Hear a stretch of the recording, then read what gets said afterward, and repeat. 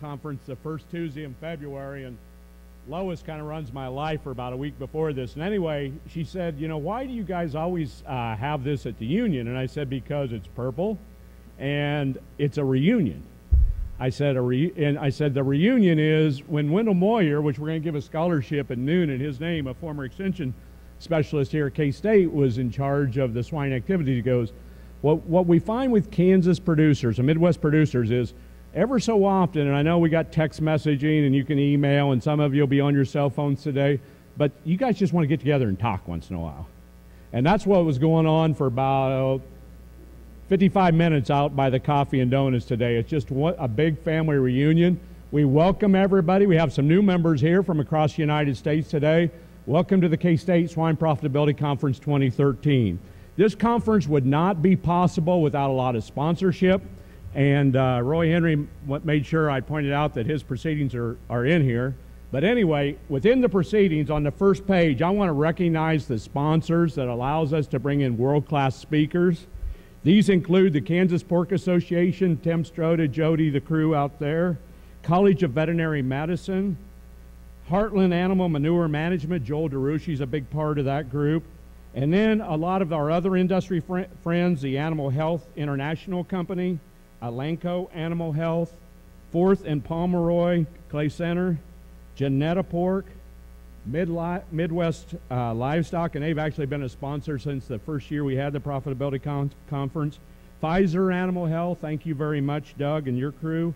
And Soother Feeds, Jerry, and the crew up at, at, at Frankfort. And Without those people, the 27th annual Swine Profitability Conference would not be possible. We wouldn't be able to bring in these world-class speakers from across the United States.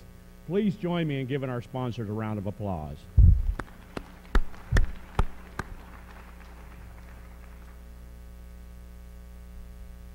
I want to talk briefly. We used a slide at Swine Day, and it's probably one of my favorite slides in a long time because what we're finding in the world today is over time, productivity has to continue to increase if we're going to feed the world. And many of you in your business, I know some of you are consultants to these businesses, realize that progress continues to have to be made in order to feed the world population. And I've talked to a lot of older people the last um, couple years about the trend in technology, and they talk about how rapid it was, you know, prior to 2010, and we've got a lot of people responsible for that. But the big worry, and politically this is becoming a big issue, is the technology gap that's starting to occur in animal agriculture as well as plant agriculture, whereby there's a lot of concern about in years moving forward if there's going to be enough food available for the population of this world. And that's why people like you are so important, and many of you consultants of the industry, making a difference, keeping it moving forward, making the progress that we have to make to feed the world. And and, and there's a lot of people in years previous to this that, that are, were instrumental in uh, getting a lot of it done that's got us up to 2013 Swine Profitability Conf Conference. And I don't know what this slide is. I don't know. Did somebody have a birthday here recently? Uh, who's pointing? How why is everybody pointing to Steve Henry? Steve, one of the legends of the industry, right? 65, what, January 18th? Was that the big party? Did you eat all those cupcakes? Let's give him a round of applause. You know, you talk about that technology gap. Boy, in Kansas, we've been blessed, haven't we? The guy that's done it for so many years. I sent him a note on his birthday. I said, I hope you don't have a midlife crisis this year. You know, so 130 years later, he's going to be going strong. But anyway, we put together a program, our swine team here, that we think is instrumental and, and helpful we tried to cover the gamut. And I know there's an audience here that's diverse in terms of their interest in the Profitability Conference. We're proud this morning to have Jeff Demint. I'm going to introduce him in a minute. Roy, Con, Joanne into helping him with his talk, and we're really pleased to have Joanne and Roy as the second part of the talk.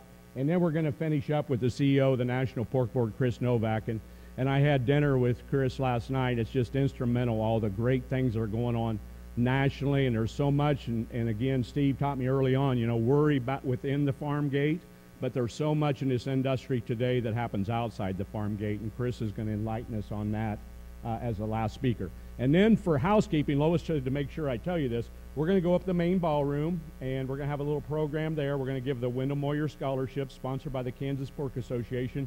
Got a great recipient, and I think you guys will enjoy uh, hearing her talk over the lunch hour. And then we're going to finish up with the legend, Ron Plain. You know, he just continues to put out great information from the University of Missouri and wrap up with the, the original Trent Loos. And uh, that should be enlightening and fun. And, and uh, really, what we try to do is work within economics, within swine production, within animal welfare, within the environment, give you a little bit of everything. During the breaks, uh, during lunch, go ahead and catch up with the, the other experts here, the consultants, your fellow producers, and find out what you really want to know about this year's uh, 2013 Swine Profitability Conference. So let's kick it off. Our first speaker, uh, I was really delighted when I, when I called Jeff Demint. You know, it's getting harder in our industry to find people that want to get up before groups for a variety of reasons and talk about what they're doing either with their business and with their consulting, with their allied industry relationships. And when I called Jeff Demint, it's the same way he's always been. He goes, Sure, I'll do that. I mean, I think we were on the phone for like 45 seconds, Jeff. I didn't have to beg, you know, like Roy just beat me to threads, but I didn't have to beg you. I didn't have to, you said, I'd love to do that. And so I'm delighted to have one of our own. Jeff went to vet school. I knew him a little bit through school. He graduated, I think, in 1990, College of Veterinary Medicine's in every veterinary association that uh, uh, pertaining to pigs that you can think of. And we asked uh, him to talk today to give the special Jack and Pat Anderson lecture. And we asked him, and you can see it in the program as well, to talk about the five key areas to change in production management that needs to be made to improve profitability. So, Jeff, welcome back to K State. We look forward to your presentation.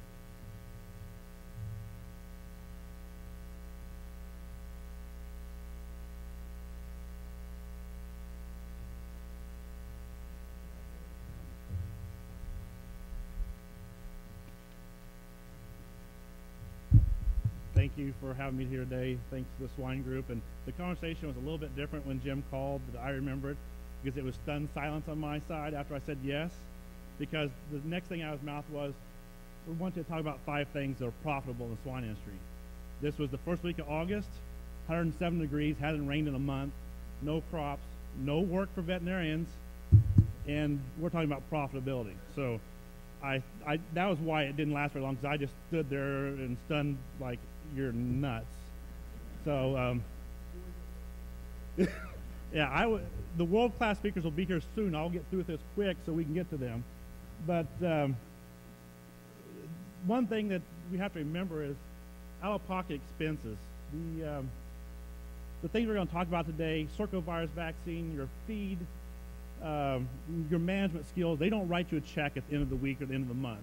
These are inherent in the cost of when you market that animal. And so you don't see that cost. It's an out-of-pocket expense, but it's an unrecognized uh, response. So through the research at Kansas State and other people, we get to see what that response is uh, without doing the research ourselves. So, um, so now after this talk with Jim, I started thinking about how do you do profitability. So I started thinking back to my physics days, and uh, a car accelerates when it slows down, it's acceleration in a negative direction. So by the same way, if we're down here at $4 losing per head and I move you to minus 2, you made profit. And so maybe right now we're just going to try to go from a negative to a less of a negative. We're going to call that profit today.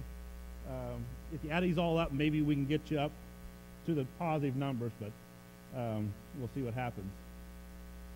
I started practice with Dr. Boomer in Bern, Kansas 23 years ago almost now. And there was two things he told me when I first started, and these have been edited, but I'm going to tell you now because it's not being recorded. Uh, I put in I put in raised pigs here. He said farmers.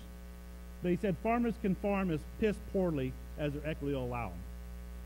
And so you clean that up and you say people can raise pigs as poorly as their equity will allow them. Has nothing to do with health, welfare, anything about how you treat the animals. It's what do you want back in your life. Uh, sometimes you're not willing to give up uh, lifestyles, working on Sundays uh, to chase every dollar that's out there. So uh, you can do it as, as poorly, that's the word there, as you want. Um, the other thing he told me is you can uh, raise pigs however you like, but when things start going bad, remember the rules and go back to them. So uh, there's more than the dairies, but uh, it works on pigs too. If you have a PRRS outbreak, remember your biosecurity. Go back. If you don't want to change boots in the wintertime because it's hard putting on cold, hard boots, it's a pain. But when you have a PRRS outbreak, go back to the rules. So we're going to talk about some of the rules today. Uh, this is the Flint Hills sunset. I didn't take it, so but uh, nice thing to kind of look at here. So the five things that I chose to talk about, some of them are pretty broad. Uh, nutrition, uh, biosecurity. When I talk about biosecurity today, I'm going to talk about PRRS. Uh, another product we're going to talk about is Improvest, a broad topic, gilt pool management. That's a, a week-long seminar. We're going to do it in six minutes. Um, vaccination and management of circovirus vaccine. Uh, when I talk about vaccination and management, it's going to be over circo vaccine. So the first one, nutrition. I'm the last person who should be standing here talking about nutrition at Kansas State University. Um, it, it's such a high cost in your field today, representing about 70% of your cost. Uh, you need professional people to take care of this for you. Uh, many swine producers are very familiar with feeding swine, and they can do it, and they're good at it. They have good resources at Kansas State and other places to get that information. Um, with that, recommend a professional, whether it be an industry, academia, uh, one of the allied industries. But a few things that I gleaned from Swine Day this year, and from other things, is uh, this was at Swine Day. What is feed efficiency doing for us? At 350 pounds per ton of feed, each uh, one tenth, one hundredth of a movement on feed efficiency is worth 46 cents according to John Patience. The Kansas State swine website said that somewhere between 30 and 45 cents. So we're kind of in the same neighborhood, uh, depending on when you uh, did the calculations. So uh, through the presentation, we'll kind of remember and refer back to this at about 45 cents. So what's the value of feed efficiency? And this is from Swine Day also if the whole nationwide feed efficiency is 3 to 1, and we can go from a 3.0 to a 2.9 feed efficiency, then it's worth 140,000 tons of feed at a cost of $28 million. That makes up a little bit of that room, and that technology that Jim talked about. We have some feed that we can do other things with. And so it, this is not really a, a massive technology thing, but there's things in technology that will make this happen. So a lot of money, a lot of feed in this in these times we don't have a lot of feed, that's needed. The people are doing yourself. I've got this. I'm I I don't use it very much. I use it more probably in cattle, but the um, Grain Council puts out a, a new one this this past year on DDGs. Has all the information you're ever going to want on it. The website's there. Use it uh, if you're going to do your own uh, nutrition work. So this is put out by John Patience also. It's what the cost of energy has done. You've used G DDGs in the past few years as a commodity. Uh, this is showing energy cost in 2005, what it cost versus 2012. You can see the difference in corn uh, and the difference here in DDGs. When you do a little bit of math, it comes out about 415% increase in corn cost and about a 550% increase in DDG cost for that. So it's kind of flip-flopping the values there over the past. So all those feed costs, what does it actually come out to, to mean to you? Uh, from 2000 to 2007, feed costs ran in the low 30s to mid 45, uh, between 50 and 260 pounds of feed costs. Now we're at 104. It's probably a little more than that actually, but uh, a two and a half times increase in just the last five years. So that's another reason why we need to take advantage of the technology. From Swine Day this year, particle size, every 100 micron reduction in particle size is what's worth 1.3% of feed efficiency. Um, using today's price, that's $1.35 a pig. So that's you can just put 135 in in there. You won't get a check for it, but it's in the value of that pig. Uh, this is some research that was presented there uh, on nursery diets the first 21 days, and it's basically what we know is pelleting gives you an increase in uh, revenue per pig and uh, income or feed cost in this trial. Uh, grinding grinder, uh, finer than 620 microns or the components does not improve pig performance or income or feed cost, but pelleting, most people feed pellets, it does have a, an improvement on pig performance and economic return. So, uh, the finishing diets, this was from uh, day zero to 111, 111 days, uh, reducing particle size from 650 to 320. Did not have an effect on average daily gain or average daily feed intake. It did improve feed to gain, caloric efficiency, feed cost per pound to gain, and income or feed cost. And again, stated a different way, every thousand or hundred micron reduction in particle size is about one percent. So that's from a 3.0 to a 2.99 uh, difference there.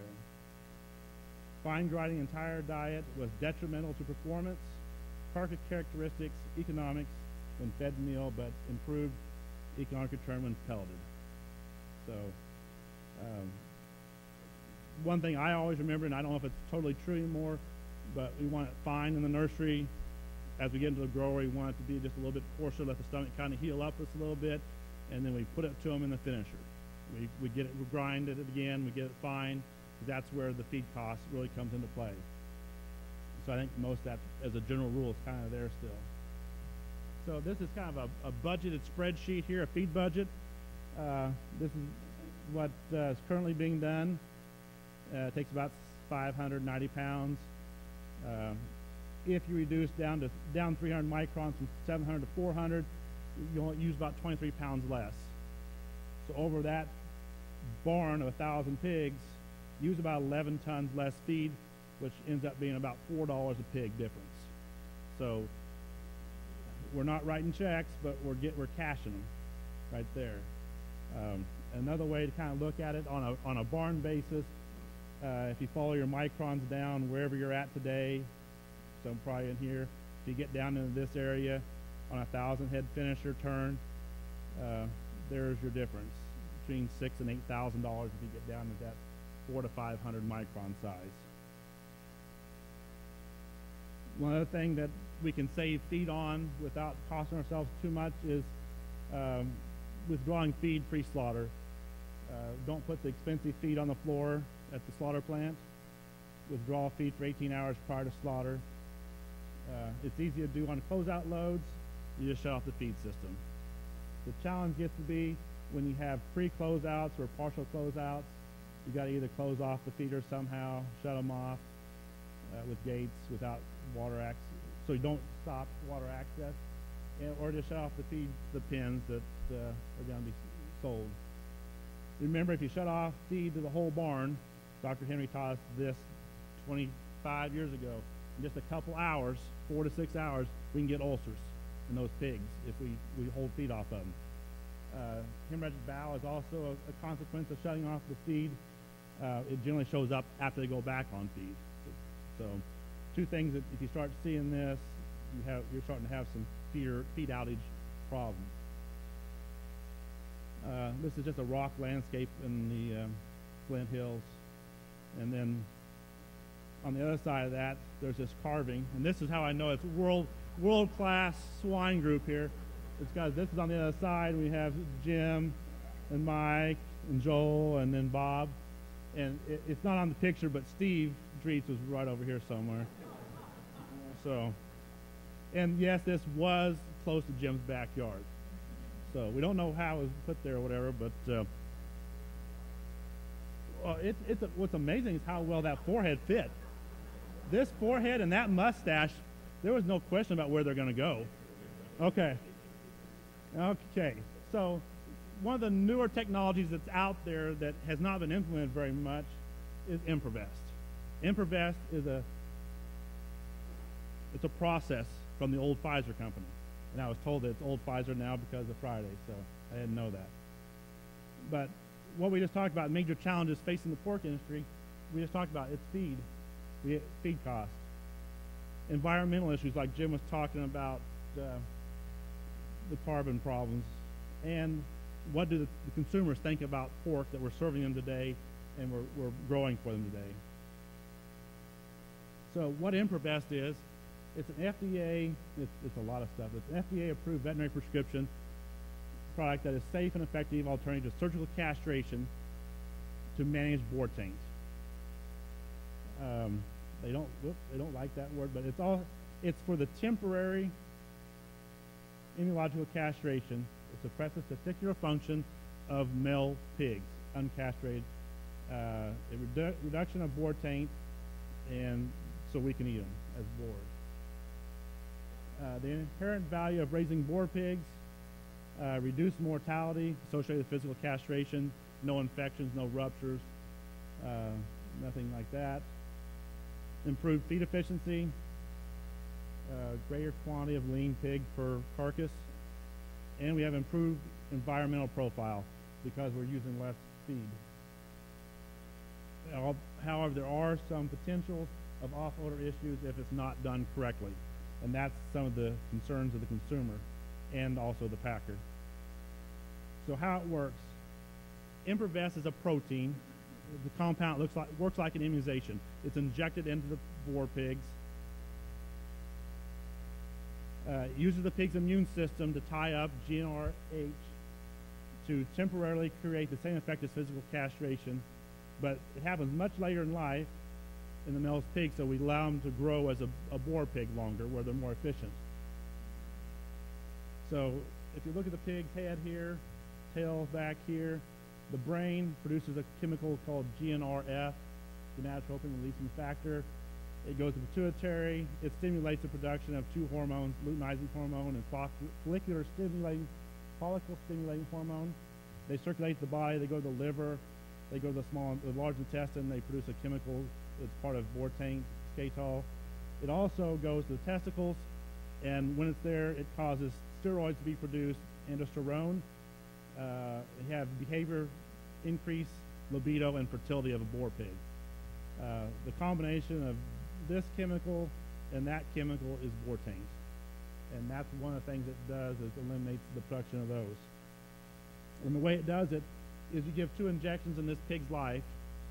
It produces anti-GNRF antibodies that circulate through the, through the body and the bloodstream. So when the hypothalamus produces GNRF, it interrupts this signal to stimulate LH, FSH, and so we do not get the, as much production of skatole and androstenone. We don't have the fertility, increased libido, or increased boar behavior that we would with a normally intact male. Um, the results in the same impact on meat quality as a physically castrated animal. So what is Improvest? It's a protein compound. It is not a hormone. It's an immunological uh, product. It's not chemical castration. It's temporary in effect. It's not genetically modified. We're using the pig's own immune system. It is not a growth promotant like we have out in the, uh, it is given by subcutaneous injection, is not added to feed. So this is the difference of a 280 to 300 pound boar without Improvest, the testicular size. This is the testicular size when they've been injected properly with Improvest. So, as an efficient as uh, physical castration, control boar thing, they grow as nature intended, uh, allowed to grow as an intact male later in life. With that, you get a, a reported 1.6% lower mortality than physical castration. Uh, the pigs are less aggressive because they're not boar pigs. They ha- behave similar to barrows. Uh, is not intended for females, obviously. Uh, barrows or male pigs intended for breeding. Although it is considered temporary, it's on label still that it's not for breeding animals.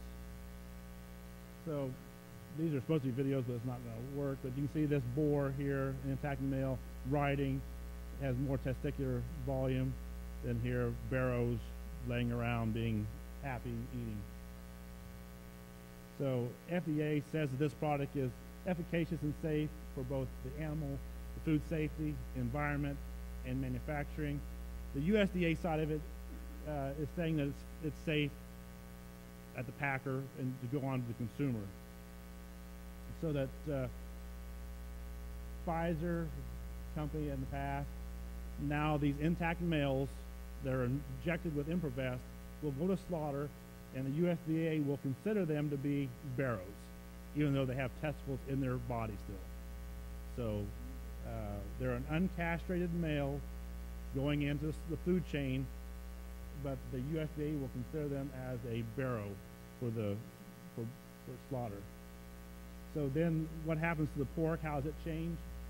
Uh, the consistency and the quality of the pork is the same as today, the same as if you physically castrate them. Consumers don't see a difference in the taste. They can't detect the difference between the Improvest pigs and the castrated pigs. Uh, 20 countries, uh, they've used it, uh, the quality, report that the, the meat measurements, quality attributes are the same. So where is it being used? Uh, it's approved and safe, and if you look down here at the thing, uh, United States, North America, 2011, uh, Australia down here, 2005 or before. So we're kind of the, the last, the slow adapting people of the technology, and even though it's here, we're still slow in the technology uptake of this product. Um, but the, the people I think that are hungry in the world, I think they're using it to their advantage um, and to our detriment right now. It's approved safe and effective in 62 countries, and that includes the European Union, uh, Japan, and um, it's sold under Improvac. There's no export restrictions. There's zero withdrawal uh, in all markets in, the- in the world. No residues from the meat that could affect human health. So what's the value in doing this? Uh, six to ten percent improvement in feed efficiency. Um, I think the National Hog Farmer three weeks ago was set up to fifteen percent. You need it if you're there probably, but uh, ten percent, ten percent at forty-six cents is four sixty. If we do it here at thirty cents, we're buck eighty on the very low end. At six percent and the lowest end is, is dollar eighty. So on that, we got two to four and a half dollars improvement. Average daily gain, four point two percent increase in average daily gain, two to two and a quarter or half percent increase in yield. Uh, I think in some of the Kansas State research at Swine Day, this didn't always pan out. Um, eliminates the risk of physical castration, so you end up with a 1.6 lower mortality from your ruptures, your infections, um, streps, whatever that happen as a consequence of castrating them. And then again, pigs that are given Improvest act like a barrow. So I'm not a big environmentalist.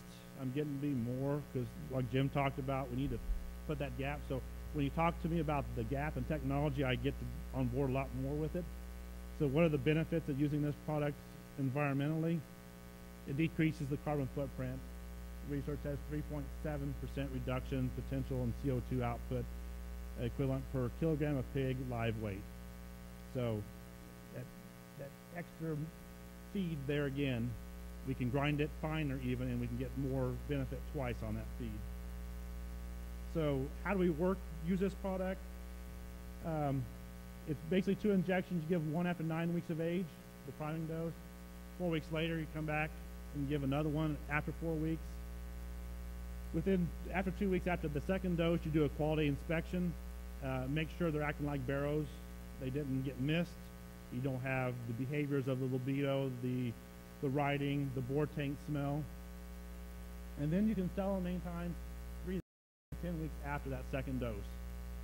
Um, and when they go, they'll have this quality assurance certificate that we showed on the USDA that says these are barrows for marketing purposes. So that's the uh, process of doing it. Here's how they do it. It's a syringe, a safety syringe. It's kind of like a nail gun. Depress this part the, against the pig's body. Pull the, depress this trigger here, and allows you to uh, depress the plunger and administer the dose. Um, if you've ever used the Micotil gun, it's very similar. It, it takes some practice to use it, but uh, it does have a guard on the needle. uh, for human sake because there are some human uh, concerns with this product. Uh, but people who use this will be trained to work in uh, finishing units because they're going to be using them on bigger pigs. You're not going to be picking these pigs up and shooting them. They're going to be walking around in the, in the pens. Uh, they're going to be 150 pounds, possibly. Uh, care should be not to have self-administration, and basically the rule is if you inject yourself once with this product, you don't handle it again. If you're a pregnant woman, you don't handle it, uh, and if you're of childbearing age, you shouldn't handle it. Uh, because we also produce the GNRF in our body, and we assume that it will also block that in our body if you get a second dose. We assume it's temporary, but I don't know who's doing that work. Um, I know some people we could use it on, but uh, that's another topic. Uh, so what's the value of it? Dr. Dritz in 2011 said it's worth five dollars over over the cost of the medication over the vaccination. Another 75 cents if you feed uh, the step lysine levels. Uh, I think it's probably more than that right now. Uh, this is probably from uh, early uh, to mid uh, 2011, but um, I think it could be more. So there's six dollars. The obstacles for using Improvest, uh, there's a few. Meat packers have been slow to adapt this technology. They don't want these pigs right now. We don't have any place to take them. We have to change our diets uh, to feed them differently because we're feeding boars physiologically for a lot longer than we uh, would barrows. We're feeding the males longer as males, not in time over time. We have to. This, this one here, I think, is going to be a, a, a crucial one is getting responsible and accurate injection crews to administer this product. If it's on your farm and you're doing it, that's fine. Uh, it's a lot of it's a lot of injecting. Uh, but and it has it. I I put down that this is a rigid, flexible system. It allows you some windows of when you can do it, but it's very rigid when you have to do it because it doesn't work if you do it um, at three weeks and then probably do it again at 25 weeks and try to stop it. it you got some rules in there the way it's labeled uh, after nine weeks and then four, at least four weeks later. Uh, there are some human health risks. Uh, if everybody starts injecting themselves acting like this, we won't have injection crews because nobody will be able to use it. And probably the one that's still out there, and it's what scares these people, is the acceptance and education of the consumer. Uh, will they accept this technology? uh, we have to convince them that it's safe and wholesome, the food that they're going to generate from that, from that product. I read this paper. It's, it's at the website at Kansas State. This has some of the characteristics of the lysine and what they found with it. I didn't want to try to sub, uh, summarize this for you, but you have people out here who know the lysine levels that you need to feed. Uh, they work for Pfizer, they work for Kansas State, they work for Hubbard Purina who are out there. So visit with them. If you're doing it yourself, go to the website, read this paper. Uh, this is my practice area. This is just a mile from my house. It's a beautiful country. Um, so biosecurity, we're going to talk about PRRS. And the reason we're going to talk about PRRS is I really think this should say stop, keep PRRS out. As when it comes to it, I don't think there's anything else we need to talk about because if we protect our swine operations from PRRS, I think the rest of the viruses and bacteria most of the time will take care of themselves. I know the foreign animal diseases maybe are more important, but this is more of a threat. So uh, most biosecurity threats come from breeding stock additions, your neighbor's pigs, and the pigs that are being transported by and around your farms. So you can control this one, and you can't control those two. Um, and this is part of every PQA Plus certification. So hopefully everybody's seen this in their lifetime, and it's important enough that the pork board put it as number 1B. So it is important. It's good production practice number one. Um, they have them broke out here as external and internal. It's in your book. Um, we're going to cover most of these, but we're going to talk about them specifically for PRRS. That's general there. Uh, so biosecurity PRRS prevention. I think it's a major threat to the swine industry. It costs us about $664 million annually. That's a lot of dollars for pigs. Um, pigs are the only animals that become infected with PRRS. And I think that's important to remember is where did I get this from? It came from pigs. How it got there is the other question, but it came from pigs. Uh, bodily fluids, most all bodily fluids, as well as semen, can be infected with PRRS.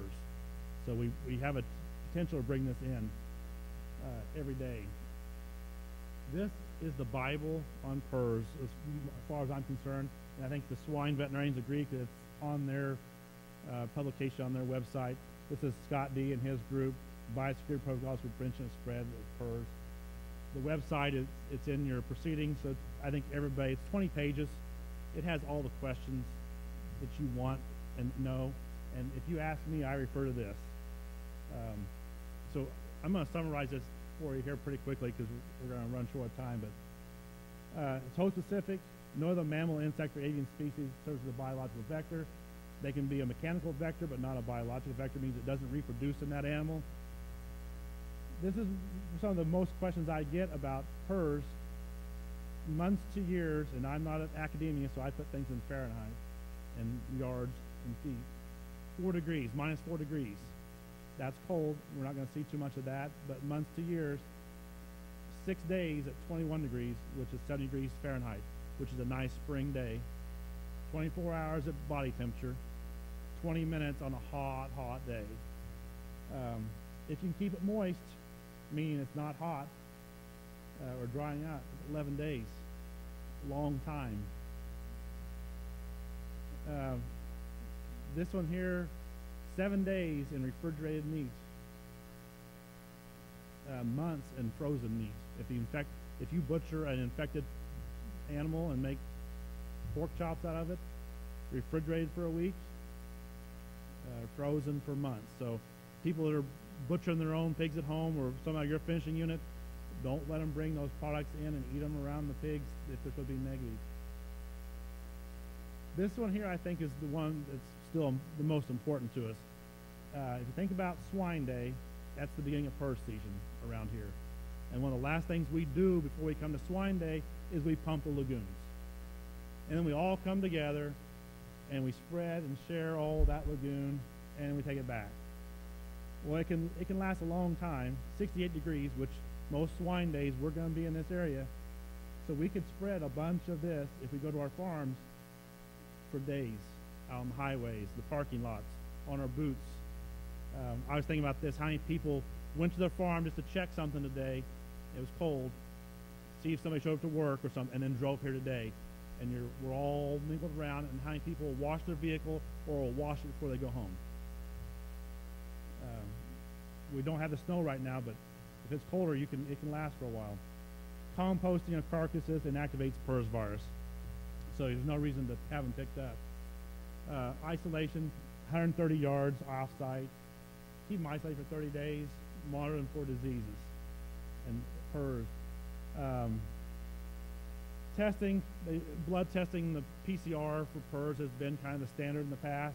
I think the ropes are ropes are becoming the more standard now, and they can be substituted.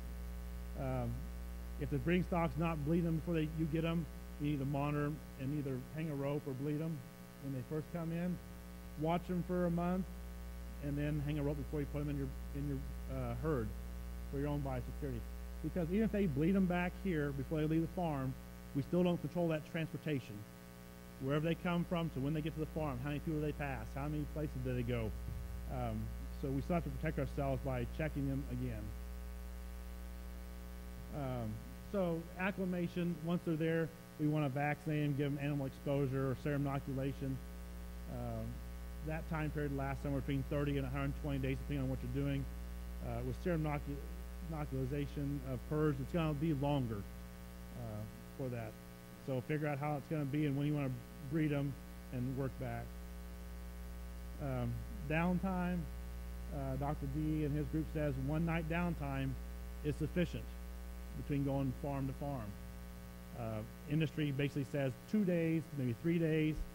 Uh, this is probably enough, but err on the side of caution.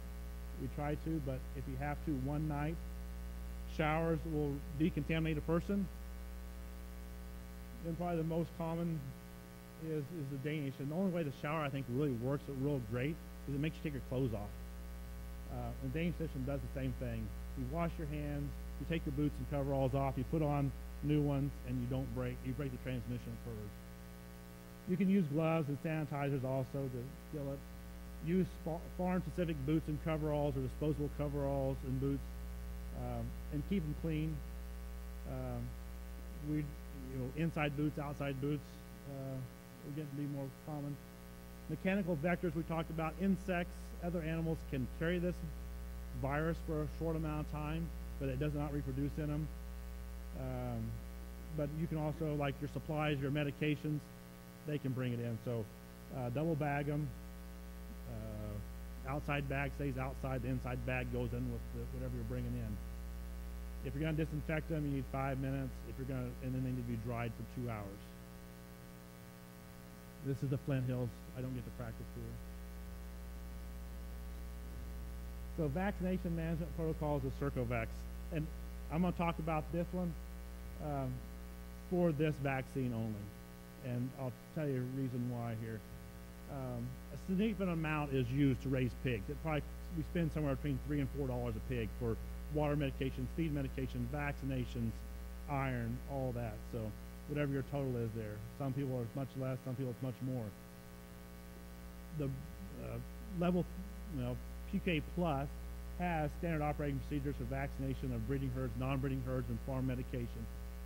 Um, use those, and when, when they are filled out on a farm, it's because they've always done it that way, but make sure we're reviewing these annually, or when you have a significant health challenge. We change them on a monthly basis, it seems like because anytime we have a Clostridium outbreak or a rotavirus, we're feeding back now, or we're not feeding back now. We're giving antibiotics, we're not giving antibiotics. So for the young people here that don't have a whole lot of bacteriology or virology experience, and you're talking to your veterinarian or your dad or your brother or your hired man, this is how you decide how bad a disease is. Coccidia, the response from the person will be, oh.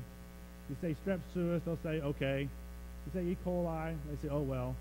You say rotavirus, oh really? You say Pasteurella, you say oh no. Parasuis, oh crap. APP, oh my god. And you get PRRS, and you say oh fart. For some reason they maybe blank that out, but when you hear that one, this is that's the bad one.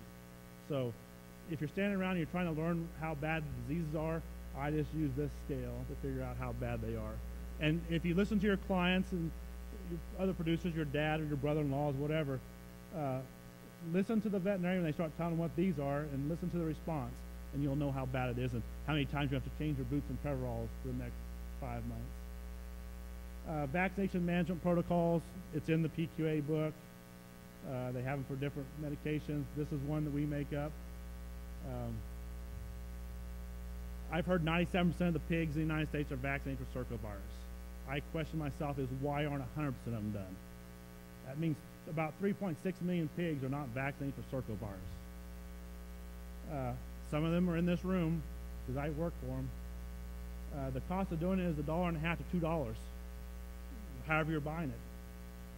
Um, and the thing I hear from everybody is it's only 5% of the pigs that get infected with it. We're not seeing the 40% death loss like we used to see. Why am I spending this $2 a pig? Uh, I don't think it matters which vaccine you use, just use one that fits best in your operation. Different sizes, you can mix them, different volumes, uh, different protocols, so use one. Dr. Henry stood up here, I think it was profitability in 2007. I couldn't find the quote, but I found this article. Uh, Steve Henry, a great source, he says it's never been lower. Return on investment never been lower than two to one. Offer reaches four to one to seven to one. Two dollars, four to one. That's eight dollars you get back. They don't write a check for it, but it's in your pig. So this is some of the first stuff that we presented on economic return on circovirus. Has it stayed the same now that circovirus isn't around? 2011, published in Journal of Swine Health and Production, uh, vaccinated pigs deliver return on investment of 590 per pig over vaccinated pigs, right in line with what Steve found four or five years ago. Um, so what happens if my pigs, I've never seen Circo in my herd, Dr. Waddell Uh, pigs that don't show signs of disease, they have a five to one return on this vaccine. So my question is, why is there 3.6 million pigs that aren't vaccinated? And you can do it however you want. That's how you can do it. As poorly as you want. It has nothing to do with the health of that pig. It's profitability. If you don't want those dollars, you don't have to do it because there are things in your life that uh, take precedent. And I understand that. So I, it, there's no right or wrong answer, but I think if you're looking for the money, it's, it's there. My summary basically is don't stop vaccinating for circovirus to save $2. It's not worth it. Um, we're going we're gonna hurry through this. This is my cattle working facility. This is just outside my house also. so this is about a week and a half to a month worth of presentation right here. And uh, doing this, I found out I know a lot of stuff. I don't know why I know it, or who told me, or why we do it. Um, and I'm still not sure after I did this. So I'm sure you're not either. So I'm, we're going to go through this quickly here. Gilt pool management. Uh, Dr. Foxcroft, which you're going to see his name a lot. That's okay. Um, he said the relative importance factors influencing the number of pigs weaned per week. The number one thing is number of females served, 60% relevance. Born alive, preborn mortality are 5%. So chasing these isn't going to do near as much as getting the crates filled with sows. Farrowing rate has about half that response there. So we need to get sows in the crates. In order to do that, we have to have an active gilt pool. The gilt pool makes up 12 to 15 percent of the herd size. It allows us to get 25 percent of our breeding group as gilts. Non-productive feed costs for a sow, if we say a dollar because it's easy math. Uh, loss of pig production, non-productive days, we might be able to get that to two and a half to three dollars per day, uh, depending on what your pig production per sow per year is. And I, I could not find it, and I'm bad at this, and Steve will be able to tell you the page number probably, but Dr. Gary Dial, I think 20 years ago, told us keep the farrowing crates full is the most important thing to, for profitability. I think it's still true, and I think Dr. Foxcroft showed us that uh, 20 years later. So effective gilt pool management, according to Dr. Foxcroft, imp uh, improves uh, utilization of building space, improves flow of eligible gilts, increases efficiency of labor, uh, increases body condition at first service, reduces the annual replacement rates, achieves the desired physiological targets of age and size uh, at first service, improves the long-term fitness of the sow, keeps her in the herd longer, and maintains economic efficiency of a small gilt pool because it's costing us a dollar a day. Uh, what, what's needed to develop a good gilt pool is a good genetic supplier of the right, adequate supply of the good genetics and good health. Uh, we talked about isolation and acclimation with PRRS. Uh, so these are kind of things we do. We don't, I don't always know why we do it or why we learned, how we learned it, but 20 minutes of boar contact starting when they're 135 150 days of age, one to two times a day. Direct contact, not fence line contact, direct contact. Get vaccinations done early before boar exposure. Give them 12 to 15 uh, square feet of pen space per gilt in groups of 3 to 50, which that's really small and that's really big, but there's no difference otherwise. So continuing recommendations is keep them in their th uh, thermal neutral area. It's in your PQA book. It's 45 to 70. Remember, during the summertime in Kansas, heat stress above 80 degrees in just a few hours. So uh, you're going to decrease your gilt pool when that happens. 10 hours of light. I'm not a real big proponent of this one, but it, the type doesn't make a, a difference. Breed at 300 pounds at seven and a half to nine months of age with at least one skipped heat. That's kind of what we've recommended for, for a number of years. Um, gilts bred at 300 to 350 pounds. Gilts bred under 300 pounds have three less pigs born over three parities than gilts bred greater than 300 pounds. So that's the target we're shooting for. Uh, this research says there's no advantages to breeding heavier than 310 pounds. So your breeding goal then is between 300 and 310. Make sure you hit it. it, it it's a it's a hard one, but uh, every time we go above this number here, it costs us non-productive days. Um, Dr. Williams showed here, and once again I changed it This is 300 pounds and under. Uh, here is 350, 375, so we're talking in this neighborhood. You can see there's about a three pig difference there. We lose out and we start getting them out here bigger. Breeding gilts by age. So do you do it by age? You do it by size. You do it by both. Uh, they need to be 300 pounds. But breeding younger, by breeding younger animals, it allows the gilt to be bred on second or third estrus without adding non-productive days. And this is some type. You can argue that this is true or not. Um, but delayed breeding until second estrus is believed to increase litter size by seven tenths, eight tenths of a pig. Delaying third estrus only increases about two tenths of a pig. Uh, one thing I'll put to you is with increased feed costs, of a gilt at 75 cents per day, is this extra pig worth one heat at $15 or two heats at $30? If your pig's worth $15, you can get this pig, but you can't pay for that. And going out to four, it costs even more without any benefits. So this is a, a slide from Dr. Levis, 180 gilts. When do they come into heat? The range is 140 to 276. Most of them are right here in this 160, 170 day. Uh, his average was 176, I believe. So this is about the, the time we're choosing them. The more we choose down here, if they're 300 pounds, they're the fastest growing animals. They got there the quickest, the cheapest, um, and they're the youngest. So we should have the least amount of expense right here. So we want to breed this way and get rid of those. Um, we can't get rid of those, but we need to check it, have a genetic supplier that doesn't give us those. So, uh, gilts bred over 10 months of age. This is old research, but I think it's even more important today with feed costs. They're less efficient. We use bigger pigs born alive over Sal's lifetime, culled sooner, and showed a negative economic return over their economic life. Um, so this is kind of where I wanted to get to, but uh, the two most common uh, hormonal interventions that we use are PG600, uh, and that's used on gilts before they're cycling to get them to come into heat. These will come into heat three to seven days after injection. The other one is Matrix, which is an oral progesterone fed to cycling gilts to synchronize their heat cycle.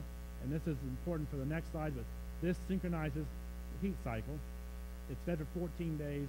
It shows signs of estrus in four to nine days after you withdraw it. Um, four dollars, twenty-three dollars. So that 14 days is twenty-three dollars. So it's doubling your non-productive feed day cost there. Um, so keep that in mind you, if you if you're going to use it. So the one hormone product that's it's been out for a number of years that we haven't heard much because it's I don't think it's out available too much is Ovugel. And this is we're back to this same little molecule in the body, this GnRH they have on this one, and it acts like it. So we're going to do the opposite of it. This synchronizes ovulation. Where matrix synchronizes estrus, this synchronizes ovulation. And the benefit of this is it allows fixed times insemination. If you guys produce beef cows or dairy cows and you breed those, you synchronize them, you breed them 80 hours, 72 hours after you after you synchronize them. Everybody gets bred. Um, the benefits of this is it decreases semen usage because with this product they're inseminating one time and they're doing them all at the same time, usually somewhere between 20 and 24 hours. It also allows us to take the best board genetics we have out there and spread them over more places where we're using less dosages.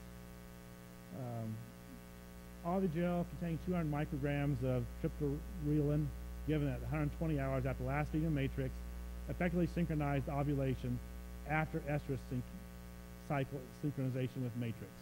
So they're using the two together. In this point, it can be used in sows, which I'll show you by itself. Um, Dr. Foxcroft again. Um, what's they took 150 sows, and these sows um, had a 21 day lactation. They weaned 10 and a half pigs, 150 in each group. If you look, the Ovugel, they bred all 150 of them. The number of sows in the control group, they only bred about 83% of them, 123. The number of controls that are in heat were 100% because they bred 100% of them when they're in heat. With the Ovugel, they're not always in heat when you breed them. And what I don't know if it's coincident or not, but this is 17% and that's 17%. So whether they would have been the seven, seven, same seventeen percent, I don't know, but that's significant. The other thing that's significant is the control sows, they used two point three doses of semen. Ovugel used one. It's a one-time insemination. Pig produ uh, weaned interval was about the same. Pigs produced about seventy-five, or sows that farrowed about seventy-five percent, about the same. Total born alive, numerically, significantly about the same. And this is how they're trying to sell this product, and whether it's, it's a true way to sell or not, I'm not, I'm not sure this is a true way to sell it, but nine point six pigs per semen dose, five point three, I've never thought of pigs per semen dose before, but that's how they're selling it. So we're making some, uh, new things out there, and it's gonna be talked about here in, in a month at the Swine Veterinarians Conference. Paul Yeske has a paper, timed insemination following intravaginal ovugel treatment, and uh, another one, uh, effectiveness of ovugel in commercial swine herds in the United States. So the timing, the usage, the dosage is still being used. I think we're gonna hear more about this. It just depends if it's, it's cost effective for us. And if, if all the breeding goes right, this is maybe our future right here. A hamp pig breeding a cow and making cheeseburgers. So with that, I say thank you to you um, for letting me do this. And you guys teach me every day, and I appreciate it. So thank you.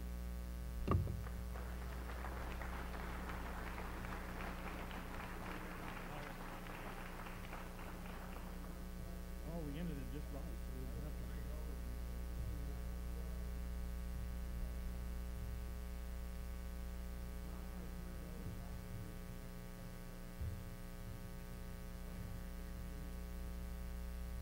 All right.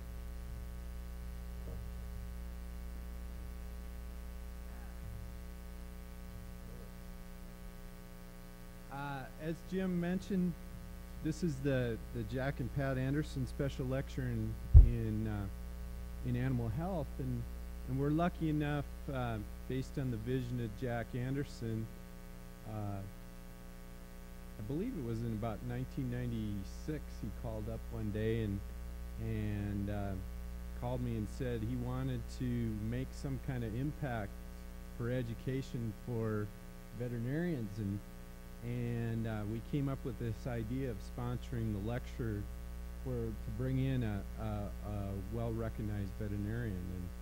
And and uh, so we've been lucky enough to have uh, several very good veterinarians. And and I'd like to just point out you know listening to Jeff's talk here today, you know, he brought up these points that I think really embody uh, what Jack, he was a visionary veterinarian, one of the first swine production veterinarians in the U.S.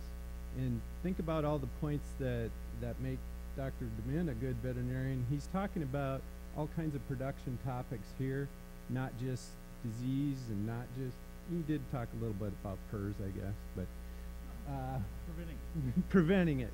You know, and and and unfortunately, Dr. Anderson's not here with us anymore. He passed away last May, and and uh, we really want to thank him uh, for building this enduring legacy here. That we're going to have this lecture, you know, for on and on till Jim is continuing on to do this this uh, this talk. So we really want to thank you, Jeff, and thank you for, for giving us a great presentation and good to work